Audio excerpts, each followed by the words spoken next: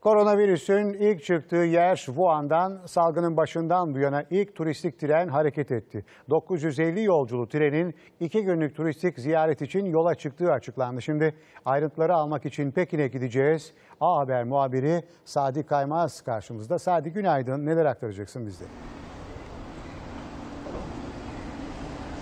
Evet e, Sinan Tat e, 80 binden fazla kişi hastalanmıştı. Dünya adını e, çok iyi öğrenmişti e, bu senenin e, başlarında. Wuhan kenti e, yaklaşık 8-10 e, milyon nüfuslu bir kent ve ağır e, e, e, ne diyelim ekonomi özellikle ağır hasar gördü. E, insanlar orada çok uzun süre e, kapalı kaldılar. Yaklaşık 3 ay e, kadar karantina e, sürdü ki çok sıkı karantina önlemleri. Şimdi de e, lafı nereye getireceğim? Hükümet e, burada hem yerel yönetim hem merkezi e, hükümet ekonomiyi canlandırmak için tedbir üstüne e, tedbir e, alıyorlar. Örneğin kapalı alanlarda bir takım eğlence etkinlikleri yapıyor. Yine e, turistik bir bölge bir taraftan bakılınca da yine e, halka e, turist turizm getiri, geliri sağlamak ya da Wuhanlıların e, e, şehir dışına çıkmasını teşvik etmek için çeşitli aktiviteler, faaliyetler düzenleniyor. Dolayısıyla bu açıdan görmek lazım. Tabii salgın bitti mi e, konusu da eminim e, kafanda bir soru olarak belirliyor, beliriyordur. Salgın bitti hatta e, tek tük vakalar çıkıyordu. Onlar da bitti diyebilirim. E, çok uzun zamandır 3-4 haftadır